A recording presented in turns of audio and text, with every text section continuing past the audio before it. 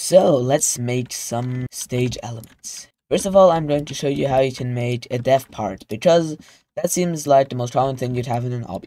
First of all, I'm going to insert a part, which I am just going to make, let's say, gray. This is going to be the floor.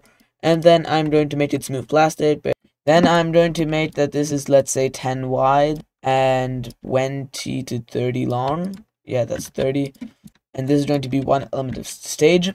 Now I'm going to make the actual dev part, so I'm going to just, let's say, duplicate this, make this be only two long, while still being 10 wide. Make this red, and make it neon. And this already looks like a dev part, now actually make it be one. So I'm just going to insert a script into here, which is just going to simply have the few lines of code. Script.parent.touch colon to next function in the brackets, open bracket hit, after the close bracket drop a line, and it's going to insert the end closing bracket for you.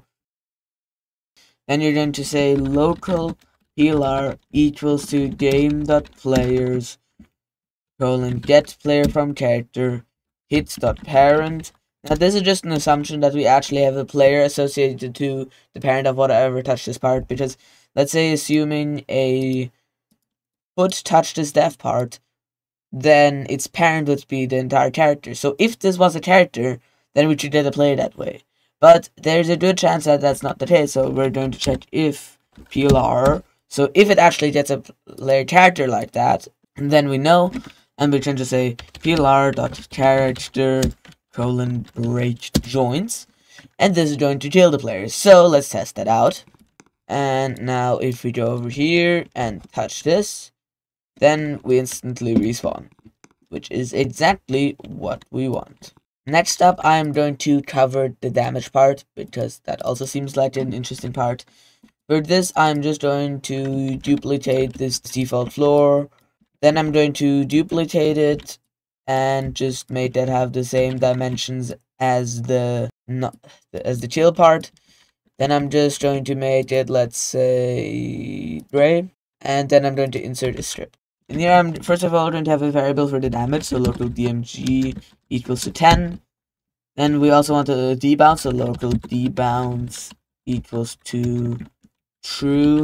Then we're going to say script dot parent dot colon connect open bracket function open bracket close bracket drop a line and it's going to insert the end closing bracket for us. Then we can say local plr equals to game that players colon get player from character in the brackets hit dot parent. Then we can check if plr then now we also have to check if debounce then plr dot character dot humanoid dot health minus equals to dmg debounce equals to false wait 1 debounce equals to true. Basically what happens here is like with the tail part, it gets a player. Then it checks if the debounce is true. So on default it is true. So it's going to say yes. Then it does damage. But it actually then sets the debounce to false so that if it triggers again, that's not going to be the case. One second later, it sets it again to true, so that it can't take damage again, because collisions are detected often hundreds of times a second, so that's why we should need this debounce. Oh yeah, also after the collision net function in the open bracket, we're going to say hit, so that this, this becomes okay. Now, let's see if this works. So, let's see if we go over to here. Yes, as we can see, we take damage. We don't a stat take damage and it repeatedly takes damage of us, but in a logical way. And yeah, that can also kill us. Perfect. Something else also recommend is that we just duplicate these parts in a certain intervals, just so because this can then already be used as a stage itself. There we go. I'm also going to just group this because this technically already works as a stage. And then I'm going to call it chill part. Now let's close off the scripts. If you were to want to make more effective chill parts, all you'd have to do, I'm just going to duplicate this and then here going to do that, is in the script for your chill part, you can just change the damage variable. So I can change that to 25. So the uh, player that touches that to kill in 4 hits instead of 10. And I'm just going to make that, let's say, a darker gray, just to signify that this does more damage. And of course I can just duplicate that quickly. And group this, and call it damage part. Next up, we're going to do the spinning laser part. But before that, I'm going to tell you to subscribe. Because not only do I, am I still planning to create two more parts to this whole series, but I'm also creating a lot of other content that you're probably also going to enjoy. And considering that YouTube might just suddenly start burying my content, you should probably subscribe to me and turn on notifications so that you'll uh, always have that up there in those notifications so that you can always click if you continue working on this project. So what we are going to do is we are going to press Alt and then select this kill brick. We're going to press Control and C, and then we're going to press Control and V, and we'll get this separated. Additionally, I'm going to duplicate this regular floor platform once again, and then I'm going to position this kill brick center to it. I'm also going to make that this part is, uh, let's say, 20 30, 30 long to the sides so that it's better. Now I'm going to open the script for this and I'm going to add some stuff. First of all, I'm going to drop two lines right at the top and say local ts equals to game colon get service open bracket open quotation mark tween service closing quotation marks closing bracket then after the touched events, after the end closing bracket, I'm going to drop two more lines. I'm dropping two lines for formatting reasons. And I'm going to say, while wait, empty brackets do, then I'm going to say local tween equals to ts colon create. Now this shows open bracket, and then I'm going to drop a line, and it's going to have this closed bracket. We are currently creating a tween, on I'm currently going to be recommending you a card which is going to explain to you better how tweens work. Basically, tween service allows you to apply smooth movement to parts because yes, we could hundreds of times a second move this the smallest increment, but that would limit our speed to how fast we can actually move it. That's why we're using tween service.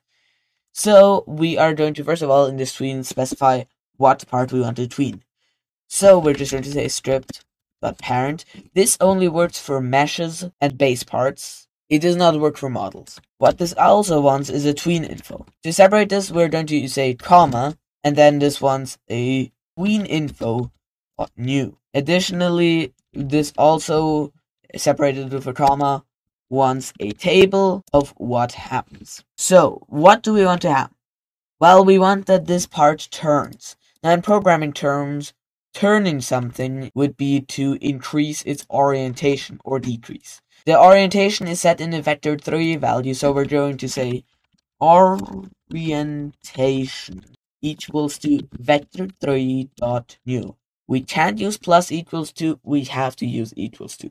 The tween service change eh, table of changes is very weird we can't say part dot property. We have to directly reference the property, correctly spelled and everything. Now, in these brackets, we're going to say 0 because we do not want to turn this on the x-axis. Turning this on the x-axis would be turning it like this. If I'm on the rotate tool, it'll show me three different circles. The red is the x-axis, the blue is the z-axis, and the green is the y-axis. So if we were to turn the z-axis, that would make it spin in such a way. Now, if you want that, you can just, instead of using here 0, use what we are using for the other axis. Now, also, we're going to have here 0. If you don't have 0, you can have what I'm going to have for the part that I'm actually turning. But because I'm not doing that, I'm just not going to have. Additionally comes the z-axis, this would turn it like this, which we do not want. So the actual one we want is the y-axis because that would make this part spin like this. The y-axis is the second property of the vector 3. We want that this turns at around 90 degrees a second, so I'm going to set this to 90. But this would just make that it just sets the property to 90, which once it's done that, it's not going to change anything about it. So we need to make that it adds 90 to the current rotation. So I'm going to say script dot parent dot orientation dot y plus 90. So if it's at 30 at the point, then it's going to set it to 120, which is going to rotate by 90 degrees. So here we have the tween info. I'm going to drop a line after the opening bracket. So that is formatted like this. What this wants is the time. It wants an easing style. It wants an easing direction. It wants the repeat count. It wants if it reverses. And it also wants the delay. So, first of all, time. How long do we want that the tween takes? Now, as I've already said, I want that it turns 90 degrees a second. So, we're going to set the time to 1 which is quite natural because if we're turning it by 90 degrees, then it should take one second. Now, just as we're doing with the definition of the tween, we are going to use a comma for setting the next. So, because now we're setting the easing style. The easing style is an enum dot easing style, and then dot the easing style we want. Now, there's linear, exponential, batch, quad, sine, all of the rest of them. Now, we want linear because if we were to, let's say, take exponential, then it would be turning in a very wonky way. Any other than linear would be wonky. Now, as before, we're going to use a comma to separate, and we're going to say now enum dot easing direction dot the direction. Now we have in, out, and in, out. Now, I'm pretty sure it does matter so I'm going to say it in, although it could be that it doesn't have that much effect. Now, of course, we're going to comma and the next property. Repeat count, we do not want that this repeats, so we set it to zero. Now, another comma. Does it reverse? No, so false. And now finally the delay. We do not want that this just abruptly stops and rotates another 90 degrees and abruptly stops, on and so forth. So I'm going to say 0 as a delay and a comma after it falls. Now, currently, this does not do anything. So, after the definition of the tween, we're going to say tween colon play. But now this would stack tweens because it's not waiting for the tween to actually finish. So, this is very easy. We're just going to say tween dot completed colon wait. Colon wait just means that it'll stop running in the script until, well, this part of the script until this condition has been met of it being completed, and then it's just going to redefine the tween and play it over again. Let's see if this actually works. So if I play now, and oh, there we go. There is the part spinning. Now we can, oh, I think I touched that. So, yes, oh no, this is difficult. Okay, yep, there. Okay, I got over it. And of course, even when it's turning, we can take damage from it. Also, something I've noticed is that it seems as if Nothing is accurate. Okay, that's Okay, now we have the spinning kill brick. Next up, we have the spinning regular platform. This is very easy. I'm just going to do this and this more damage part. To do this, we just need yet another platform. We can put it over here and group this one to call it the spinning kill brick or something. And now here we have our platform. Additionally, we're also going to copy and paste the spinning kill brick and position it here. But currently, this does not look like a moving platform. So first of all, I'm going to make that this is 10 studs wide. I'm going to make that this is green and smooth plastic because this looks a lot safer now. Actually, I'm not going to make this 10 wide, instead 6. Okay, there we go. Now currently, even though it doesn't look like it, as we can see if we play, this has a very obvious problem being that, um, yes, this still acts as a kill brick. To fix this, all we have to do is we have to go into the script of this part and just remove the touched event. We are going to keep all the rest, And now if we play? There we go. And if we touch this part, yes, as we can see, we're completely safe. We can follow, we can stay, try stay on the part, which can be difficult, yeah, but you can just change the speed from one so that how long it takes that it, instead of it just doing the 90 degrees in one second, that it does that in let's say two seconds. Now if you play, as you can see, it is a lot slower than it was before. This was very easy. So next up we're going to do something as well very easy. We're going to first of all duplicate this. Then we're going to uh, take the original, group it, and call that um spinning part. And now all we have to do is that we want that this thing can take us with us. So at this exact size, um, all we have to do so that it takes us with us is scroll down to the property, scroll all the way to the bottom, go to assembly angular, and there we can uh, take the y-axis and put it to 1.55. For these exact dimensions, 1.55 is the exact amount of rotational force it has to apply so that if you go onto this part, it is going to act as a lighter. Oh, no, it looks like I have different dimensions. Because technically this takes the player character with it, but I think my value is too big for these dimensions. That's why it's pushing them off. I mean, this can just be proven if I stop the game and change the property to let's say 1.3 now play again now if I walk over there and go onto the part oh either way you can just tweak this value until it works exactly for your purposes let's see 1.1 should work now nope still too much I should really stop trying to tweak this but I'm just going to try it because I really want to fix this Seems like one is only minimally more. You can, of course, tweak this. Although, I mean, I guess the player could still try to stand on the platform. Okay. So, what do I have next? We have two more pieces next. First of all, based on the same on the same principle, we have the conveyor belt.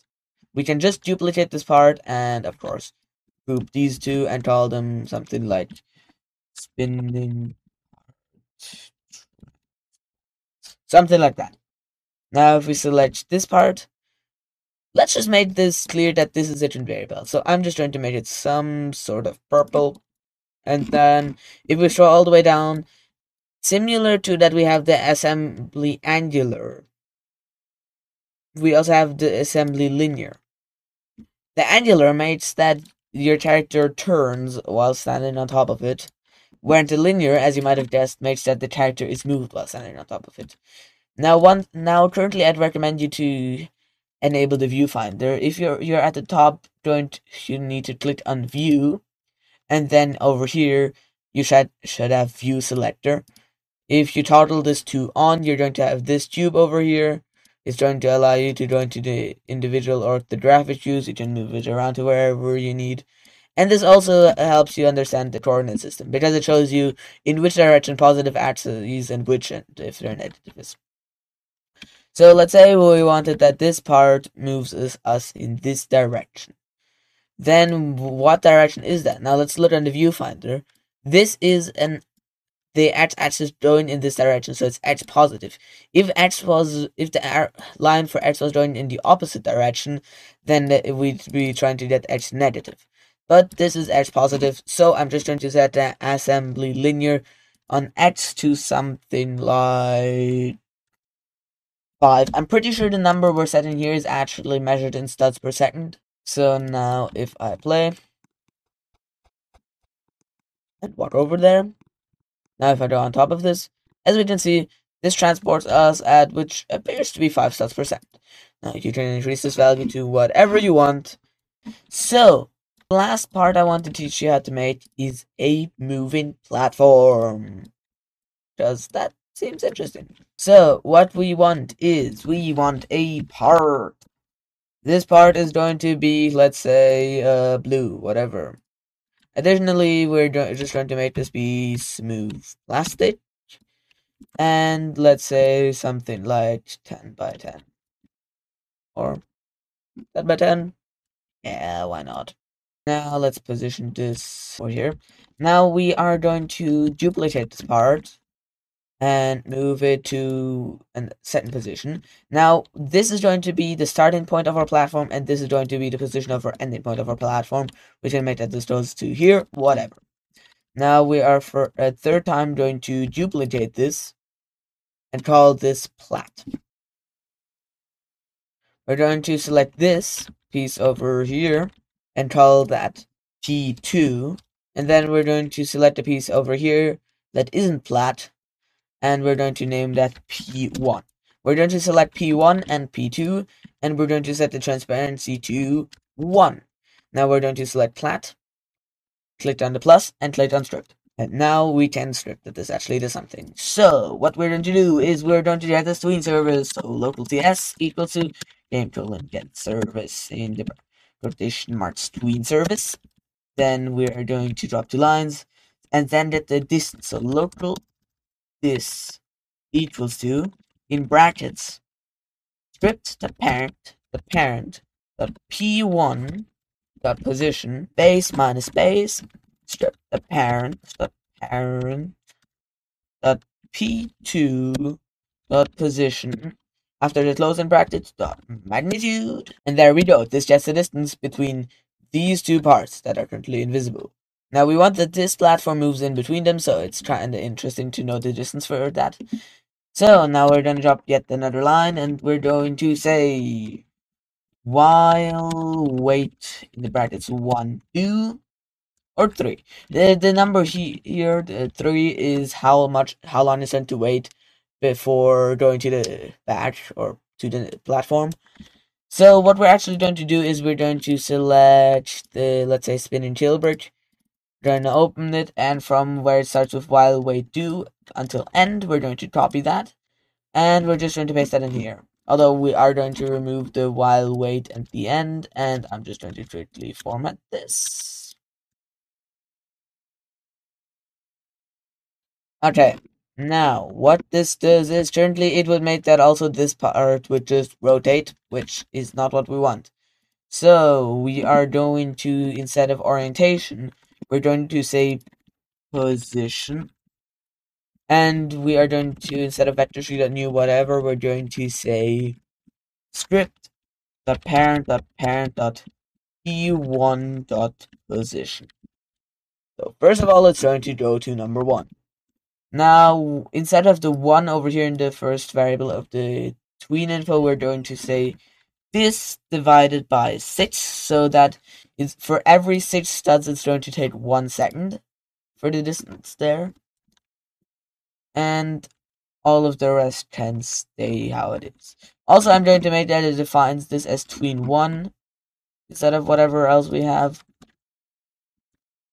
Now after the tween dot completed colon wait we're going to also say wait 3 seconds or however long you want that it stays there because currently what it does it it waits 3 seconds then it goes to the first part then it waits 3 seconds and then we want that it goes to the second part again and then it will because of this wait another 3 seconds and this is surprisingly simple all we have to do is just copy over from the tween the completed colon wait to the definition of the tween. After the wait 3, we're going to drop two lines, paste that, and just replace the twos, the ones to, for twos. Oh, I see why, because the second between those two part 2, uh, part 1, and we wanted to go to part 2. Now, I'm just going to group that, anchor it. I'm going to call the group, let's say, moving platform. Now if we load once again, I think it's going to take some yeah, it should just take just three seconds. And any moment now, it should, yes, it's going over to here. Now let's see, it should stop around here. Yes. And in three seconds, it goes back to where it came from. Now, the nice thing about this system is also that if I was to select P2 and just move that in a completely different position and play again, the system is actually going to also incorporate that and made that the part should move up. Yes, it moves up. It just goes, it just alternates between the two positions that you can set easily, which is perfect. So, in this tutorial, I have showed you how to make a multitude of different obby elements. With that, you can directly start actually making stages for your obby. In the next tutorial, I am probably going to show you how you can, for one, make some sort of a skip stage, probably a select stage from the stages that you already have, and maybe even get to showing you how to make alignment keys, in case you want that for your obby. And I'll hopefully see you in the next video. Bye!